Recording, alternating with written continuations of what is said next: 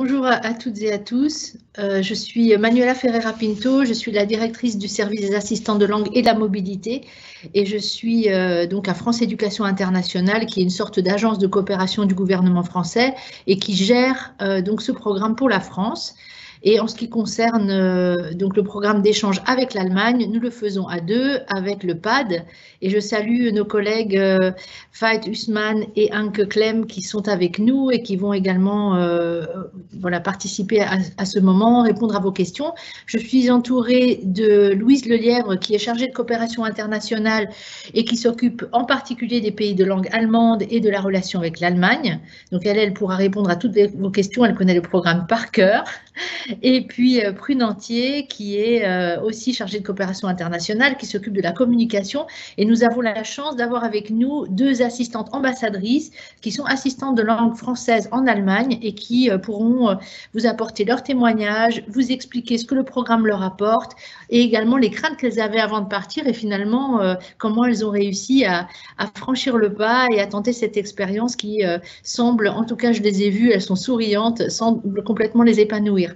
Donc, je ne veux pas euh, m'attarder plus, simplement vous dire aussi que ce moment est, d'importance pour nous. Il a une valeur toute symbolique. Vous savez que la France préside le Conseil de l'Union européenne et que dans euh, l'action de la France en Europe, le tandem franco-allemand est un tandem central, moteur, extrêmement fort, un peu le cœur battant de, toutes nos, négociations au niveau européen. Et euh, ce moment est, aussi important pour cela parce qu'il montre que le programme d'échange d'assistants de langue est une des pierres de l'édifice franco-allemand et de la construction européenne où la mobilité aura de plus en plus d'importance dans les années à venir. Voilà. Donc, euh, bon moment d'échange à vous et on est heureux de pouvoir répondre à vos questions.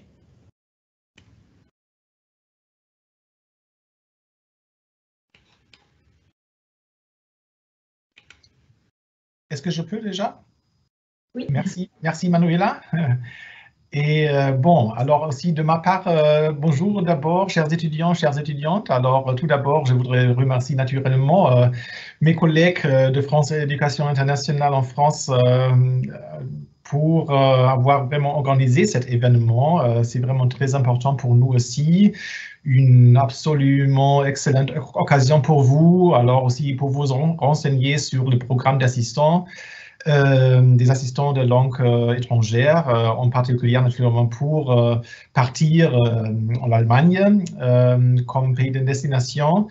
Et je ne, sais, je ne sais pas si vous avez déjà eu la chance de passer quelques, jours, quelques semaines ou mois peut-être euh, en Allemagne, mais je crois que, euh, que vous avez déjà eu euh, une vue sur l'Allemagne et aussi la diversité que ce pays oui, propose et aussi la chance de vraiment interchanger peut-être des expériences euh, avec des jeunes de tout le monde euh, qui aussi euh, font un nom comme assistant, assistante en Allemagne. Alors moi, je m'appelle Veit Husemann et il y a une vingtaine d'années, j'étais moi-même aussi en France en tant qu'assistant de langue étrangère, alors d'allemand. Et bon, et pendant mon temps, où, oui, cette phase en France, j'étais près de Paris. alors j'ai tellement profité de cette occasion euh, jusqu'à nos jours, je peux vraiment dire, parce que après cette période-là, euh, c'était sûr pour moi que je voulais vraiment devenir prof, euh, prof de français. et après avoir travaillé pendant beaucoup d'années dans, dans un lycée, un établissement en Allemagne, j'ai aussi profité comme professeur d'avoir aussi la chance de oui, euh, de, disons, euh, intégrer aussi un assistant, une assistante euh, de France, mais aussi d'autres pays dans mon cours de langue. Et après, j'ai aussi travaillé quelques années dans une université et maintenant, comme je suis le chef du département au PAD et le responsable pour le programme euh, du côté allemand pour euh, le programme des assistants de langue étrangère, j'ai encore euh, beaucoup à faire avec ce programme-là. Et je voudrais aussi dire que c'est vraiment un programme très, très spécial parce que je ne sais pas si vous êtes, que vous avez peut-être déjà vu que c'est un programme qui est vraiment, qui a vraiment une très, très grande tradition il s'agit du programme ancien, le plus ancien programme d'échange international dans le domaine de l'enseignement scolaire.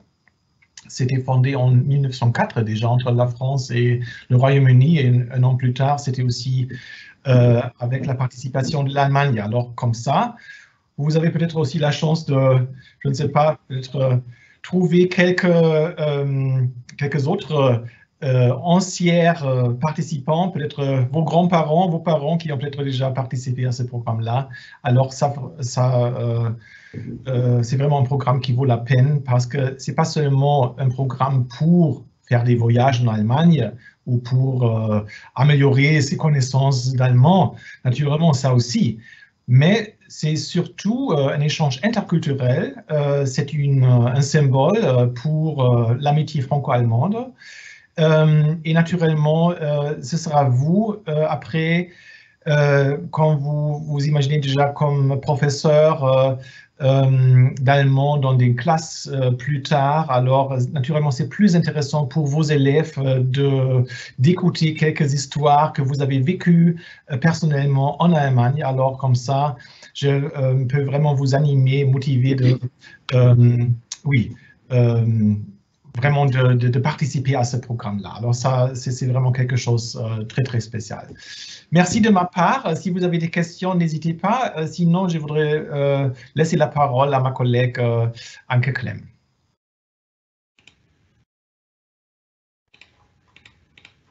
Oui, bon. Oui, que tu me dis, bonjour. Oui, d'accord. Merci. Euh, bonjour tout le monde, je m'appelle Anke Clem, je suis la chargée de programme au PAD euh, depuis 13 euh, ans maintenant. Et oui, j'aime bien le programme. Moi-même, j'ai participé il y a, je sais pas, c'est pas vrai maintenant. C'était pour moi une, une, année très, très, oui, très importante pour toute ma vie. Et oui, je serais euh, très, euh, très heureuse de nombreuses candidatures, euh, pour l'Allemagne. Merci.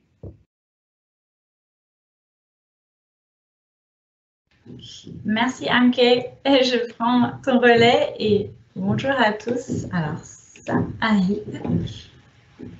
Voilà, je ne sais pas si vous voyez bien. Euh, donc, euh, Louise Lelièvre, chargée de coopération, euh, effectivement, je travaille donc avec, avec le PAD, notamment Anke en Allemagne.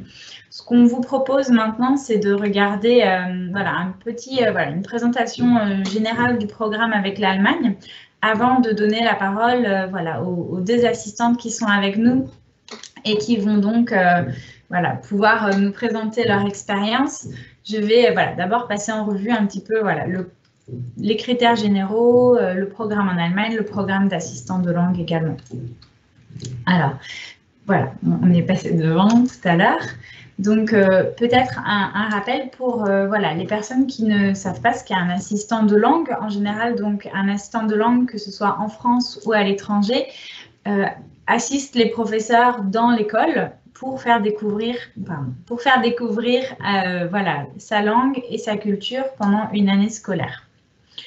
Euh, les objectifs généraux du programme, c'est vraiment voilà, pour l'établissement d'accueillir un locuteur natif, donc un jeune qui parle le français en l'occurrence, pour aider les professeurs de français à faire découvrir la langue, la culture dans l'école et, également pratiquer le français dans l'établissement.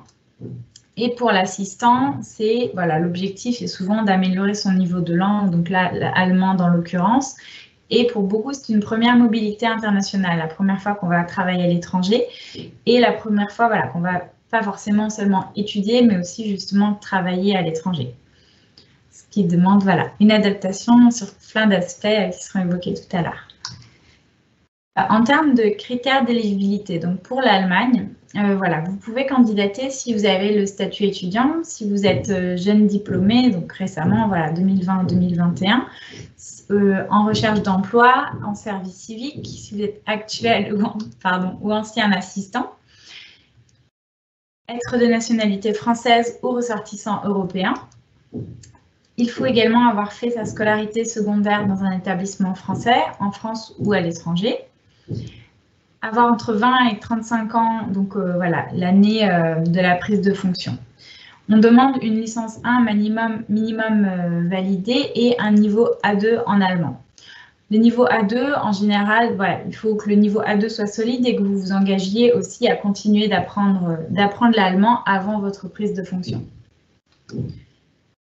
le statut de l'assistant de langue est différent dans différents pays. Donc, euh, en l'occurrence, pour l'Allemagne, vous êtes boursier de l'État allemand et vous percevez une bourse de 800, 850, 850 euros par mois pour 12 heures de travail face aux élèves. Donc, c'est vraiment 12 heures dans la classe. Euh, voilà, vous avez des précisions qui, vous sont communiquées ensuite euh, par la suite sur le statut euh, lié à l'assurance. Alors, voilà, une question, on aborde les, points principaux. Donc, les lenders qui sont proposés sont voilà, tous les lenders en Allemagne. Donc, les lenders sont les, régions en Allemagne. Et à titre indicatif, ben, vous avez voilà, le nombre de postes qui étaient proposés chaque année dans chaque lender. Ça peut un peu évoluer d'une année sur l'autre. Et vous pouvez faire des choix régionaux pour euh, demander le lender qui vous plaît le plus, euh, mais vous pouvez demander plusieurs lenders. Je reviendrai tout à l'heure sur la procédure. En termes d'accompagnement avant le départ, on a un module de préparation au départ qui est gratuit, qui est en ligne pour tous et que vous pouvez faire dès maintenant si vous le souhaitez pour découvrir ou euh, à partir du moment où vous êtes sélectionné pour avoir des idées d'activité, des, idées de comment travailler avec le professeur, euh, que faire en tant que français à l'étranger, par exemple. C'est un, module voilà, avec lequel vous pouvez avoir un badge à mettre sur vos pages de réseaux sociaux si vous en avez par, par exemple. Alors voilà, comment candidater? On vous mettra le lien à nouveau dans, le chat. Euh, on a une nouvelle plateforme d'inscription qui s'appelle Adèle. Et sur euh, Adèle, sur cette plateforme, vous pouvez créer votre dossier. Pardon, ça va trop vite. Vous pouvez créer votre dossier euh, et au fur et à mesure que vous allez remplir les rubriques, vous saurez pour quel pays vous êtes éligible. Alors voilà, il faut bien penser à marquer que vous parlez allemand, que vous avez euh, le niveau d'études que vous avez validé pour que ce soit pris en compte. Sinon, euh, voilà, on sera, on sera là pour vous aider. Alors, les candidatures sont ouvertes depuis le 4 janvier et euh, vont jusqu'au 11 mai. Alors, je dirais un petit attention. Donc, on a une première vague de candidatures qui sont jusqu'au 3 mars. Et donc, ces candidatures reçues le 3 mars, on les traitera euh, dès le 3 mars. Et, euh, et on continuera d'en recevoir s'il reste des postes. Mais les, voilà, les personnes qui auront déposé leur dossier pour le 3 mars seront prioritaires. Sachant que les résultats, effectivement, sont communiqués à partir d'avril. Euh, voilà. Pour les les résultats précis sur l'affectation, c'est plutôt euh, courant juin. Voilà, je vous remettrai mon contact. Euh, j'ai été assez vite pour aborder voilà, le, gros du cadre et laisser la parole euh, voilà, aux deux jeunes femmes qui sont avec nous pour témoigner. Mais ce sera mon adresse si vous avez des questions plus particulières pour candidater en tant que Français vers l'Allemagne. Vous trouverez également sur notre site et sur les réseaux sociaux des témoignages, des informations plus détaillées voilà, sur, sur la destination. Euh, voilà, sur donc, Twitter, euh, Instagram et Facebook. J'ai fait vite. J'ai essayé voilà, de, traiter, dresser un portrait global et euh, je vais donc passer voilà, la parole à, à, Sophie et à Irina. Alors, qui, euh, voilà, je vais arrêter mon partage d'écran.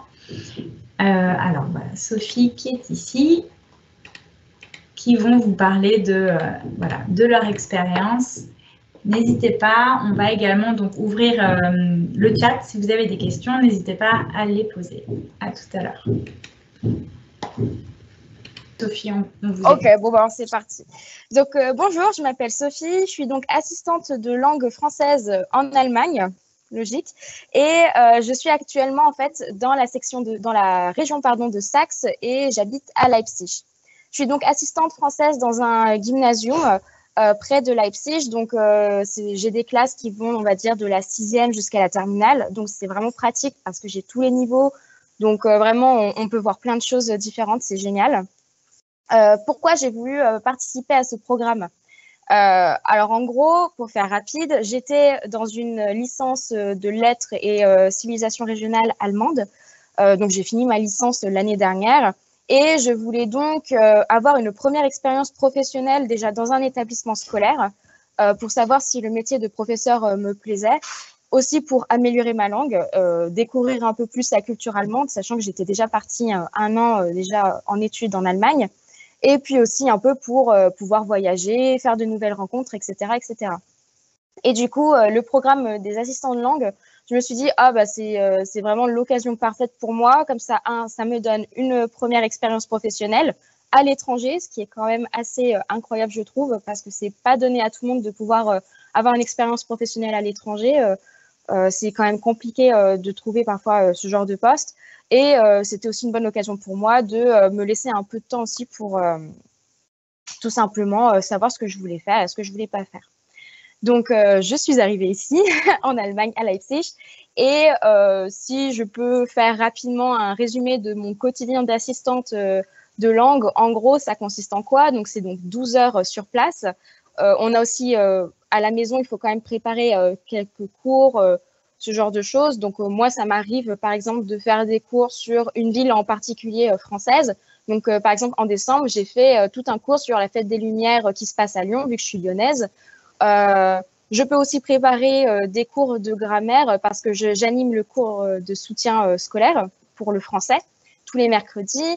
je peux aussi parfois corriger quelques copies pour les pour des élèves qui passent la certification de français euh, B1 parce que j'ai euh, passé une formation en novembre euh, à l'Institut français de Leipzig qui m'a donc permis de devenir formatrice et examinatrice du DELF. Donc voilà, on a vraiment beaucoup de choses à faire, c'est très varié. On peut aussi mettre en place des projets si on a envie dans les établissements, bien sûr en discutant avec nos collègues, hein, naturellement. le plus important, c'est surtout la communication avec euh, nos collègues afin de vraiment euh, que tout soit bien clair et que chacun sache un peu euh, ce qu'il doit faire et ce qu'il ne doit pas faire. pour ma part, vraiment mes collègues sont incroyables, ils sont super gentils et ils sont très flexibles aussi. Donc du coup, ils me laissent vraiment beaucoup d'autonomie et beaucoup d'opportunités en fait. Donc c'est vraiment très agréable je peux faire euh, des sujets avec des classes de, euh, par exemple, de terminale sur, euh, je sais pas, j'avais par exemple parlé un jour de la guerre d'Algérie parce que ma collègue m'a dit, ah voilà, je vais parler un peu de l'immigration en France, est-ce que tu pourrais me parler de la guerre d'Algérie? Je dis, ok, c'est parti, on fait ça. Et ça a vraiment très bien marché. Donc vraiment, il faut pas hésiter à parfois choisir des sujets qui peuvent paraître peut-être compliqués à aborder, mais qui en fait, les élèves, ils sont très intéressés et ça fonctionne toujours tant qu'on met aussi un peu un petit côté un peu ludique, euh, ça, ça fonctionne à, chaque fois. Donc euh, voilà, euh, je dirais que c'est à peu près tout ce que je peux dire par rapport à mon quotidien. N'hésitez pas à poser des questions dans le chat. Je ne sais pas s'il est ouvert. Désolée, oh, les collègues passent derrière. N'hésitez pas à poser des questions. je peux y répondre pendant qu'Irina raconte-elle son parcours. Il n'y a pas de souci. Bonjour à tous, du coup, euh, moi je m'appelle Irina, euh, j'ai 24 ans et je suis actuellement euh, du coup assistante de langue française depuis septembre à Freiburg en Breisgau. Donc c'est à côté de, la frontière vers Mulhouse en fait. donc du coup je suis dans une Gesamtschule avec des élèves de 11 à 18 ans. Et tout d'abord j'aimerais peut-être dire juste pourquoi j'ai choisi de faire un assistana en Allemagne et pas dans un autre pays qui était proposé. Euh, parce que c'est vrai que parmi beaucoup de mes amis, ou même assez souvent, on ne considère pas vraiment l'Allemagne comme une destination de, de, rêve, en fait, comme, comme on pourrait dire. Euh, hum, surtout quand on a le choix parmi euh, bah, le Mexique, l'Espagne, enfin d'autres pays euh, pour l'assistanat. Et beaucoup me demandaient, mais t'es sûr d'aller en Allemagne? Euh, Les gens sont froids, il n'y a rien de spécial là-bas, enfin vraiment des, des, petits stéréotypes. Mais pour moi, c'était vraiment une destination de rêve, en fait. Et, et c'est vrai qu'au début de ma formation, enfin de mon éducation, j'étais pas euh, si intéressée par découvrir vraiment l'Allemagne en y allant physiquement, en fait, en vivant là-bas. Et c'est un de mes professeurs d'allemand en langue étrangère appliquée qui nous a parlé beaucoup plus de la culture allemande et tout ça. Et ça m'a donné euh, vraiment euh, envie de partir en Erasmus en Allemagne. Et en fait, mon séjour en Erasmus en Allemagne m'avait tellement plu que j'ai fait dans la même ville euh, mon master en double diplôme du coup en études interculturelles franco-allemandes. Et euh, maintenant, du coup, je fais de l'assistanat euh, à Fribourg aussi. et ces expériences, en fait, ont vraiment confirmé bah, mon amour pour ce pays, si je peux dire. et ça m'a vraiment rendue indépendante. J'ai appris la langue allemande de tous les jours, en fait, la langue vraiment qu'on n'apprend pas à l'école. Euh, et je me suis fait des amis euh, bah, de presque de, tous les continents, je dirais, parce que c'est assez très interculturel en fait comme pays. Après, ça dépend de quelle ville, mais là où je suis, c'est super interculturel. Et surtout des Allemands, donc on a beau dire qu'ils sont froids, c'est pas vrai du tout. Enfin, moi, j'ai des amis euh, très très bons là-bas. Et voilà, c'est exactement ce que, vous, ce que vous pouvez vivre si vous faites de l'assistanat en Allemagne. Vous allez découvrir vraiment l'Allemagne sous sous tous ses aspects.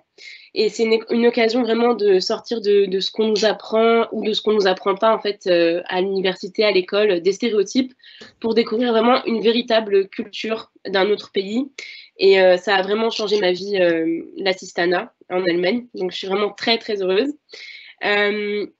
donc rapidement, enfin mon rêve ou un peu mon, mon ambition en fait c'était vraiment de, travailler en Allemagne, de, m'installer en Allemagne en fait après mes études. Et on m'avait parlé de l'assistana avec France Éducation Internationale. Du coup, je me suis renseignée et j'ai vu que c'était vraiment euh, voilà une formation euh, pré-professionnalisante. En plus de partager nos passions pour la culture française, la langue française, c'était vraiment une formation qui me permettrait d'avoir un premier pied en Allemagne. Et c'était euh, ce que je recherchais, un premier pied professionnel en Allemagne. C'était dans la continuité aussi de mes études interculturelles, euh, parce que c'est un partage euh, permanent entre élèves, professeurs. Euh, donc c'est vraiment, vraiment ce que je recherchais. Et c'est important, je pense, que, je que je rappelle aussi que c'est un, un assistanat, enfin si ça n'a pas changé depuis, mais en tout cas c'est ouvert à tous, pas forcément, enfin c'est pas forcément si on, se, destine seulement à l'enseignement. Moi c'était pas mon, cas en fait, je me, je voulais vraiment travailler dans une institution culturelle en Allemagne. Mais en fait, euh, l'enseignement, ça a pris tellement une place importante dans ma vie et j'aime tellement ça que je, je, je, vais vraiment le lier à mon futur poste, en fait. Et j'ai vraiment envie de, voilà, de faire quelque chose avec ça, mais toujours dans, dans une institution culturelle. Euh, je vais vous parler peut-être de la candidature, euh, des petites des petits tips. donc juste n'hésitez pas, par exemple, à préciser dans votre lettre de motivation ou à dire à votre professeur évaluateur euh, si vous préférez, vous pouvez dire, par exemple, si vous préférez un collège euh, ou un lycée, par exemple, vous pouvez même dire euh, dans quelle ville, dans quelle ville vous aimeriez avoir un, poste. Et puis, qu'est-ce que je voulais dire d'autre? Oui, aussi prenez-vous-y, enfin, il faut s'y prendre assez, assez, assez, enfin, le plus tôt possible, parce que moi, j'avais eu un souci avec le professeur évaluateur, par exemple, donc j'avais dû contacter la scolarité d'un autre département. Donc, euh, ça se fait, enfin, tout, tout s'est bien passé. Et euh, soignez la lettre de motivation, ne laissez pas des cases vides parce que tout est bon, tout est bon à mettre. Donc, euh, n'hésitez pas à mettre vos expériences, toutes vos expériences professionnelles, vos compétences artistiques, sportives, quelles qu'elles soient. Et sinon, c'est vraiment tout simple et ça se fait en ligne, donc vous n'avez pas de souci à avoir avec ça. Ça s'est très bien passé pour moi en tout cas. Et voilà. Maintenant, je vais me concentrer sur mon expérience en tant qu'assistante. Euh, donc, sachez d'abord, comme l'a dit euh, Sophie, euh, c'est 12 heures par semaine et c'est un emploi du temps assez flexible. Enfin, moi, j'ai pu m'arranger avec les professeurs. Enfin, c'était vraiment, très flexible. et mes cours, en fait, étant seulement le matin, j'ai pu trouver une sorte de bénévolat un peu dans, au Centre culturel français de Fribourg. Euh, du coup, c'est vraiment super. Ça me permet aussi de, travailler pour le Centre culturel français à côté. Donc, c'est vraiment super. Et euh, sinon, voilà, je ne vous cache pas que c'est vrai qu'au début, j'avais un peu la, la, boule au ventre. J'avais des peurs au départ euh, d'être devant une classe entière, devant des classes. C'était la première fois que je faisais vraiment de l'enseignement. Et euh, en fait, pas du tout. Enfin, on m'a vraiment donné euh, une ou deux semaines d'adaptation. On m'a laissé le temps de voir les différents niveaux des élèves, ce qui est super important parce que comme ça, on peut adapter nos cours aussi. Donc ça, c'est vraiment, euh, c'était vraiment génial de leur part. Sachez aussi que les professeurs sont très contents qu'on soit là. Ils nous valorisent beaucoup et ils sont ouverts à entendre nos propositions, nos projets, activités. et puis voilà, tout se passe bien avec mes collègues, avec ma tutrice. Euh, et ça les motive aussi euh, qu'on parle français avec eux, du coup ça leur donne plus d'idées, davantage, d'autres idées, etc. Et bah, du coup, je vais finir sur mon, mon, quotidien, donc ce que je fais, ce que je fais vraiment là-bas pendant mon assistanat. Euh, donc des fois, je vais être par exemple présente avec euh, le prof en classe entière. Euh, et là, j'assiste, j'assiste le prof qui des fois, il va avoir des, des, des, doutes sur des mots, des expressions. Donc je vais être là, je vais traduire ou je vais l'aider. Ou bien j'aide aussi les élèves avec la prononciation. je passe dans les rangs pour corriger les exercices je suis pas censée faire ça, mais enfin, je sais pas si on est censé vraiment faire ça, mais je fais un peu de, discipline, mais je leur dis de se taire, par exemple, ou d'être plus calme. Euh, de ranger les téléphones aussi. Euh, je fais des interventions en classe entière aussi, euh, ou même en, classe entière ouais, sur, sur des thèmes culturels spécifiques. Sinon, je peux aussi prendre les élèves en demi-groupe où le travail du coup est plus individualisé, plus en profondeur. Donc c'est très sympa aussi. On apprend à connaître les élèves à ce moment-là, donc c'est vraiment super. Euh, et du coup, je vais créer des activités, des présentations, ce qu'on appelle des Arbeitsblatt, donc une feuille d'exercice, des fiches de vocabulaire. Euh, et par exemple, euh, oui, donc j'ai travaillé sur les élections présidentielles, par exemple, sur le Noël français. j'ai fait un truc sur Versailles, la série Versailles, par exemple. Et puis, par exemple, aujourd'hui, j'ai fait une activité, un jeu en ligne. Donc, enfin, je vous mettrai peut-être le, lien en, dans la discussion, enfin, c'est une super application, ça s'appelle WordWall par exemple, et ça crée des jeux en fait, c'est vraiment génial. Et du coup, j'ai créé un qui est euh, pour mes élèves, pour mes sixièmes. Euh, j'espère que je suis pas trop longue, mais, euh, mais je vais. Voilà. Et je fais aussi du soutien à une élève qui a une phobie scolaire. donc j'ai une phobie, j'ai une phobie, non, j'ai une heure fixe avec elle. Et bah c'est, oui, c'est, enfin c'est comment dire, ça fait du. Euh, J'aime beaucoup aussi, aider en soutien. Euh, et dites-vous aussi vraiment que vous allez au travail, enfin, que quand vous allez au travail, c'est vraiment tous les jours une rencontre différente avec les élèves, avec les professeurs, c'est toujours différent et c'est pas monotone. Donc, c'est ça aussi qui est génial avec l'assistana, c'est toujours quelque chose de différent. Euh, bah, pour finir, je veux juste vous recommander euh, de faire de l'assistana je vous cache pas que moi, j'avais, j'avais peur au début et j'étais pleine de questionnements et je posais plein de questions à toutes mes copines qui avaient déjà fait de l'assistana ou, ou d'autres. Euh, et je pense que j'ai envoyé pas mal de mails aussi. Mais voilà, je vous encourage vraiment à faire euh, l'assistana, n'ayez pas peur. Euh, tout s'arrange avec le temps, enfin dans le sens que euh, ça, au début vous pouvez prendre un peu de temps, mais avec le temps vous prenez vos habitudes, vos marques, vos repères et vous êtes lancé, vous y allez et vraiment on joue un rôle en fait quand on est quand on est devant la classe, on fait limite un peu de, de théâtre et on s'invente une Enfin, je sais pas, mais en tout cas, c'est génial, c'est super dynamique comme travail. Et euh, voilà, en fait, c'est aussi ce que j'appelle une formation, pas vraiment un, travail, mais aussi une formation, parce qu'on se forme à être aussi indépendant. Euh, par exemple, même financièrement, enfin, sachez que la vie, elle est, elle est un peu moins chère en Allemagne, d'ailleurs. Du coup, moi, je suis vraiment indépendante financièrement après mes études, et c'est ce que je recherchais, donc je suis super heureuse. Euh, voilà, donc on donne tous les jours, on donne aux élèves aussi, mais on reçoit beaucoup des élèves. Et pour finir, je pense que je vais finir sur ça, que c'est la meilleure sensation et une des choses pour lesquelles je, vous dis vraiment de faire de la citana, c'est la meilleure sensation, c'est quand vous avez un élève qui comprend et fait des progrès. Euh, et là, on se sent vraiment utile et je pense que c'est vraiment ça la meilleure sensation. Ça vous donne limite des, euh, frissons ou je sais pas, mais voilà. Moi, je pense que c'est vraiment la meilleure sensation. Euh, et euh, bah voilà, c'est tout ce que je voulais vous dire. Et bah, n'ayez pas peur et allez en Allemagne. C'est vraiment une super expérience et je suis très heureuse. Voilà, merci. Merci Irina. on sent que ça a peut-être fait naître une vocation d'enseignante quand même quand on vous entend parler avec passion de la transmission en partie. Merci. N'hésitez pas, effectivement, j'ai vu qu'il y avait une question, on va peut-être y, revenir euh, dans le chat tout à l'heure. Euh, est-ce que, euh, voilà, j'avais peut-être juste une question pour fight, peut-être, est-ce que vous pouvez juste dire un petit mot sur les types d'établissements où on peut être affecté quand on est assistant de langue en, en, Allemagne?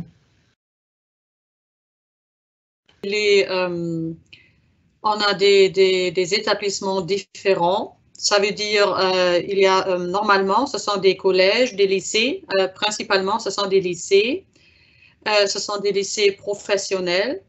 Et parfois, vous êtes aussi affecté dans les, les, écoles primaires, si vous voulez. Mais il faut le, il faut le dire explicitement dans votre, oui, dans votre formulaire de candidature. Ça, c'est très important hein, pour le dire. Hmm? Mhm. Merci. Je, rebondis à Anke, il y a une autre question. Est-ce que, euh, de, voilà, Lohan dans le chat, est-ce que l'établissement scolaire peut aider à la recherche euh, du logement? Oui, normalement euh, que oui. L'établissement est très, très intéressé de, de, trouver avec vous un studio ou un peut-être euh, quelque chose d'autre, mais vous pouvez définitivement demander l'école euh, pour l'aide, définitivement. Peut-être pour rajouter encore une fois sur l'autre question en ce qui concerne les établissements. Alors euh, là, ce qui est aussi très intéressant à savoir, euh, comme l'Allemagne, nous avons un système éducatif fédéral. Euh, naturellement, nous avons, nous avons, 16 systèmes différents euh, éducatifs. Alors comme ça, ça peut être que vous êtes dans un établissement qui s'appelle peut-être Grundschule, qui a les classes 1 à 4.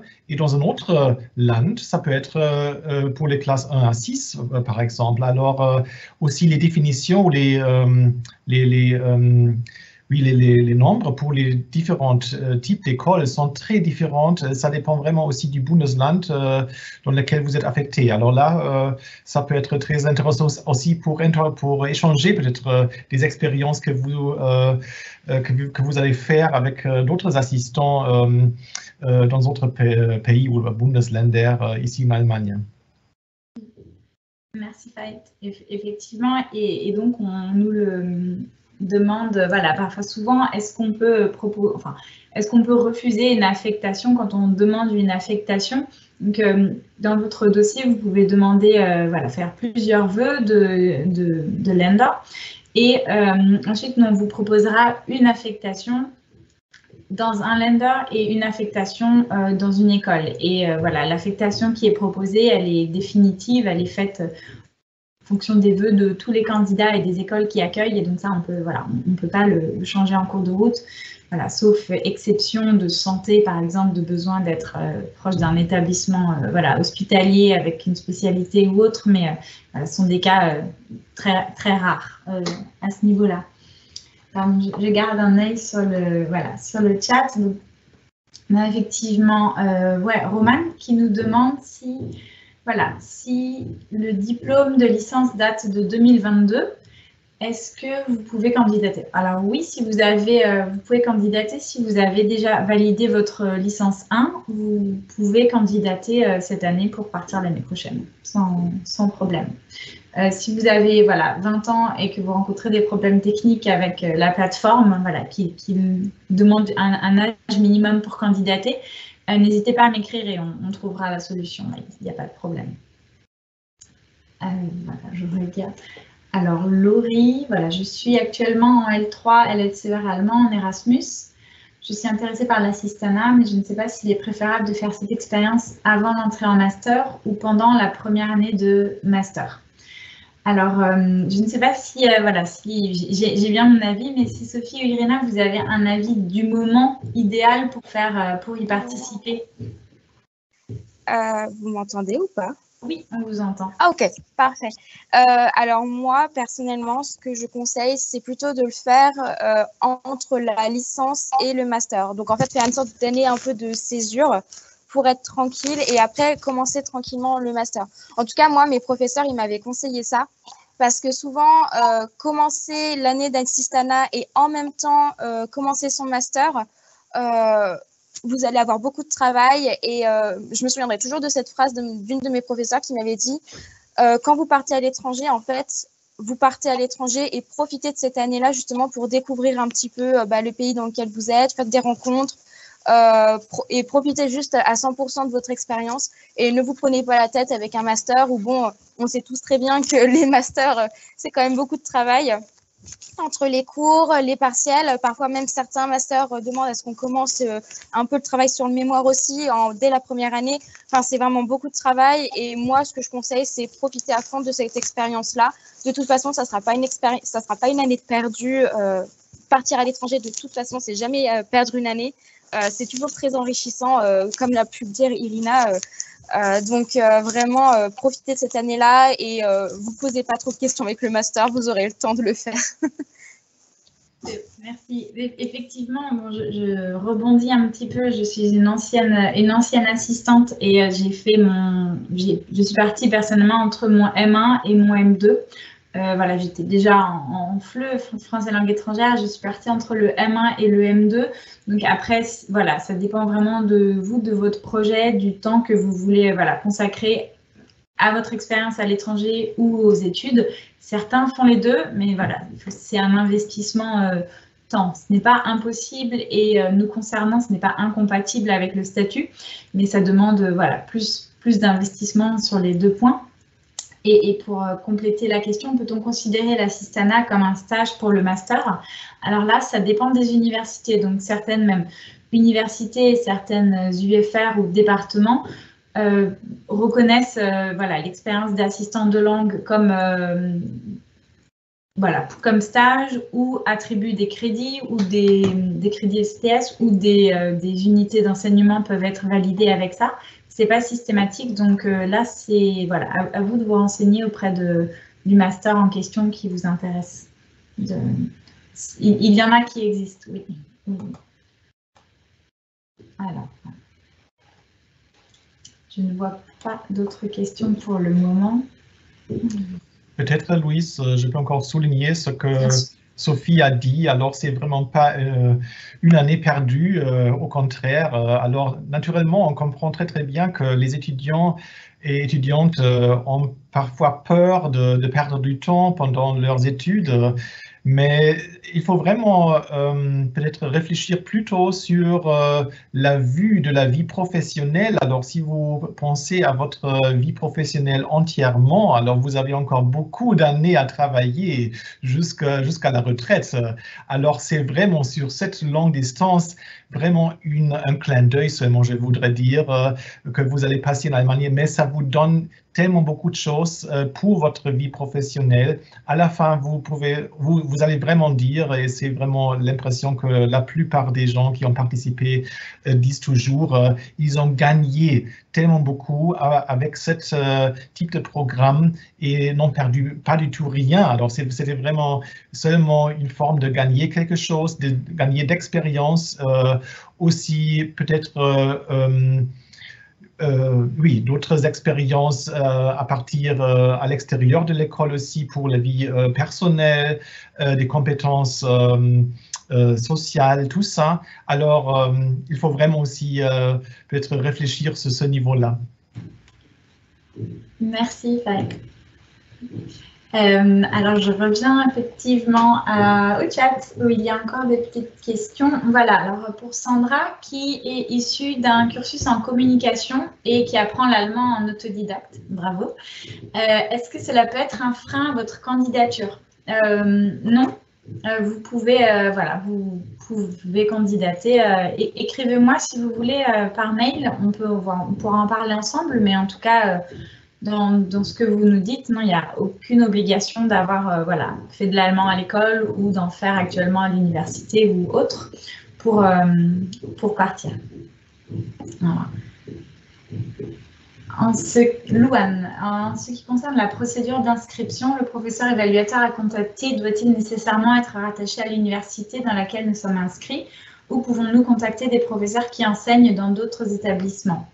Alors, euh, donc, il ne doit pas nécessairement être dans votre université, mais par contre, euh, si vous faites appel à un autre professeur, doit être un professeur qui vous connaît. Donc, euh, vous pouvez aussi solliciter un ancien professeur de lycée s'il accepte de vous évaluer en allemand. On demandera, voilà, dans ce cas, qu'il utilise son adresse institutionnelle pour, voilà, qu'on sache dans quelle académie il travaille ou quel établissement. Mais à ce niveau-là, vous, pouvez, euh, vous pouvez inviter un, autre professeur. Oui.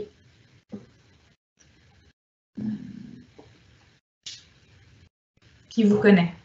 voilà, c'est un peu le, point clé. Pardon. Alors, je voilà, prends les questions hein, du chat. Terminal, euh, je termine ma L3 de LEA en Erasmus en Allemagne. Est-ce que vous devez prendre le risque de demander une année de césure et de ne pas postuler en master? Euh, Alors, cette année de césure peut poser problème si l'on n'est pas l'accepter au sein du programme d'assistant de langue en Allemagne. D'accord. Alors, euh, oui, effectivement, demandez dans quelle mesure, euh, voilà, demandez à votre, votre université ou votre département dans quelle mesure ce serait pénalisant pour vous. Après, euh, voilà, tout dépend effectivement de votre projet, de votre cohérence. On, nous demande parfois quelle est la chance d'avoir un poste en Allemagne. On a, voilà, grosso modo, voilà, actuellement, beaucoup plus d'écoles en Allemagne que de candidats. Euh, si votre projet est euh, sérieux, motivé, que vous remplissiez les critères, vous avez, voilà, et qui s'inscrit dans une logique de votre projet voilà, personnel ou professionnel, voilà, n'hésitez pas, n'hésitez pas à candidater. Ensuite, euh, de mémoire, euh, peut-être que vous pouvez aussi regarder euh, quand vous devez déposer votre dossier de demande de césure. Je ne sais pas si vous avez déjà la date, mais à ce moment-là, voilà, peut-être que vous pourriez avoir un, résultat même avant de, faire cette demande, sauf, si c'est maintenant, c'est sûr que c'est un, peu trop tôt. Irina et Sophie, êtes-vous en, césure ou connaissez-vous des assistants qui le sont ou l'ont été? Non? Ouais, d'accord, merci. Alors, est-ce que, voilà, on, nous demande aussi si les dossiers sont traités par ordre d'arrivée, premier arrivé, premier servi, ou comparés tous à la fois? Alors, on étudie, euh, voilà, tous les dossiers, euh, voilà, ça peut être par ordre d'arrivée, mais ce n'est pas premier arrivé, premier servi. Enfin, disons que dès qu'on reçoit des dossiers validés, on commence à les étudier. Mais par contre, voilà, ce n'est pas parce que votre dossier arrive après est, euh, que votre vœu n'est pas considéré de la même manière. Euh, par contre, voilà, on fera euh, une première sélection, un premier classement pour les affectations, pour les dossiers qu'on recevra début mars pour pouvoir voilà, avancer et que chacun ait aussi euh, voilà, son affectation le plus rapidement possible. Et s'il reste de la place dans différents lenders, on continuera de, recevoir les, dossiers. Hum. Voilà, pardon, On nous demande si, la, si, le master en parallèle est compliqué, est-il possible de suivre euh, en parallèle des unités d'enseignement? Alors euh, voilà, en mathématiques ou, autre, ou autre euh, matière à distance, là, tout, ça dépend plutôt voilà, de votre organisation, de votre capacité de travail et de votre université, à savoir si, justement il est possible d'enseigner à distance. Voilà, je ne sais pas, un mais je pense que voilà, c'est peut-être le cas de, voilà, de certains assistants en Allemagne. Ça me semble en tout cas voilà, compatible avec des études en parallèle ce qu'on dit toujours, c'est voilà, la priorité doit être euh, votre mission d'assistant de langue. À partir du moment où vous arrivez à vous organiser avec votre école, vos classes, vos professeurs, euh, bah, ça peut tout à fait être quelque chose que vous faites à côté.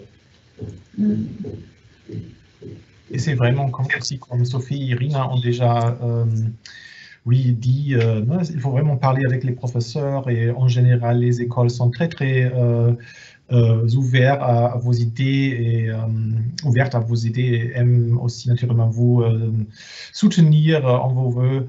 parfois, ça ne marche pas, mais en général, on essaie toujours de trouver une solution pour aussi vos autres intérêts, naturellement. Merci. Oui, Sophie. Ah, vous m'entendez C'est bon On vous entend, vous voit. Oui.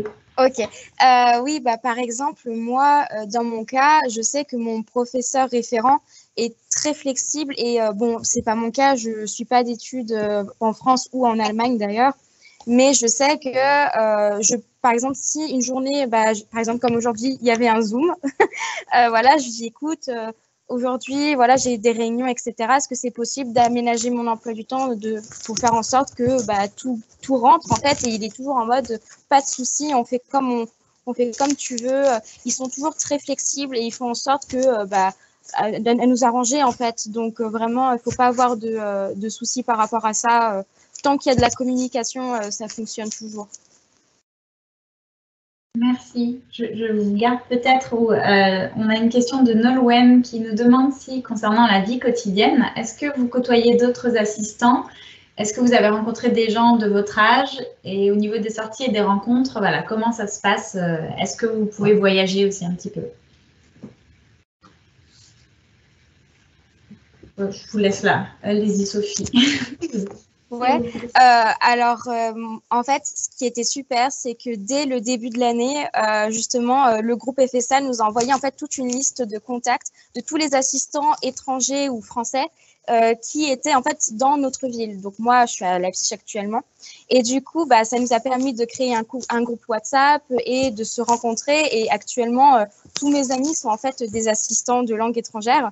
Donc, euh, ce qui est génial, c'est que bah, par exemple, il y a des Espagnols, des Américains, euh, des euh, Britanniques. Euh, enfin, vraiment, c'est hyper varié et c'est très agréable. Et même du coup, parfois, on peut voir des, des Français. Donc, on se dit, ouais, des Français, ça fait du bien aussi parfois de parler un peu français.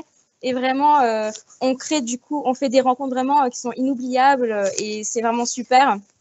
Du coup, après, on peut sortir comme on veut. Bon, aujourd'hui, la situation avec le Covid est un peu, euh, voilà, comme d'habitude, mais, euh, mais ça ne nous empêche pas de nous retrouver et d'organiser des soirées. Par exemple, nous, on a fait carrément une soirée euh, Thanksgiving, vu qu'il y avait beaucoup d'Américains dans notre groupe.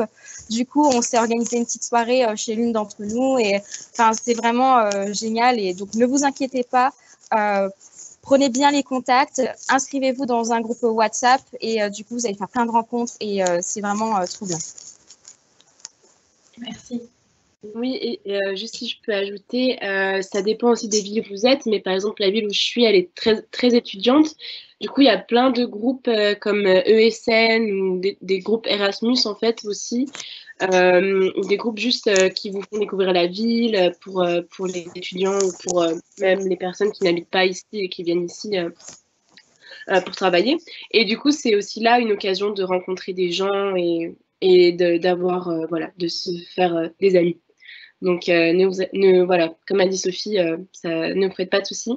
Et oui, et puis moi, moi, j'ai eu un message d'une assistante qui est aussi à Fribourg. Et du coup, bah, on est devenus aussi amis. Et non, c'est super. Et, et même encore un autre conseil, n'hésitez pas, quand vous faites vos recherches d'appartements, à euh, justement euh, prendre des colocations avec des Allemands notamment. Euh, comme ça, un, vous pratiquez un peu la langue et vous allez vous faire de nouveaux amis. Et vous... moi, je suis par exemple dans une colocation de cinq personnes au total, donc ça peut paraître beaucoup, mais du coup, c'est hyper enrichissant et on fait encore plein de rencontres. Donc vraiment, ça peut être aussi une autre, une autre façon de faire des rencontres. N'hésitez pas à partir dans les colocations. Ah oui, euh, bah du coup en fait par rapport aux colocations, euh, moi je suis dans une résidence étudiante euh, parce que j'ai encore le statut étudiant. Donc regardez aussi avec votre ville si c'est possible d'avoir une résidence étudiante parce que du coup à Fribourg les loyers sont assez élevés dans le privé, mais en coloc, en résidence étudiante, c'est vraiment moins cher. Donc voilà.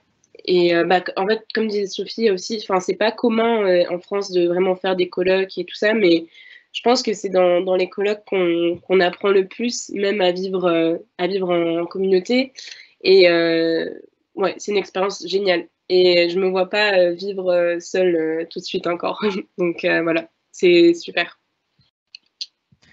Et ce qui est aussi peut-être très intéressant à savoir, c'est avec cette liste que Sophie a mentionnée pour mettre en contact tous les assistants, assistantes en Allemagne, naturellement, vous avez là aussi la chance peut-être de aussi de euh, entrer en contact avec ceux qui peut-être ne sont pas dans vos alentours, mais plus euh, loin, euh, dans une distance, plus loin. Alors, par exemple, si vous êtes dans le nord et vous avez envie de découvrir le sud de l'Allemagne, alors essayez aussi de, de, de, contacter des autres, d'autres assistants. Alors, c'est vraiment très, très facile.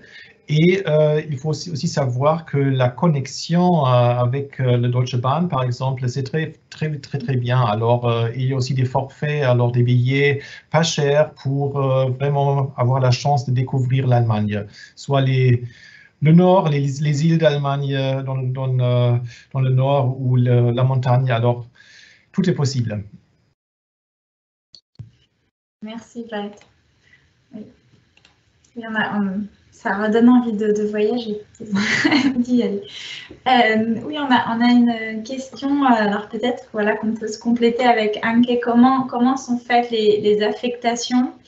Et euh, est-ce qu'on prend euh, voilà, en compte ou peut prendre en compte justement les, les demandes de Français qui sont déjà en Allemagne et, et qui candidatent pour, pour le programme? Alors voilà, je ne sais pas si, je commence et n'hésite pas à me compléter, Anke.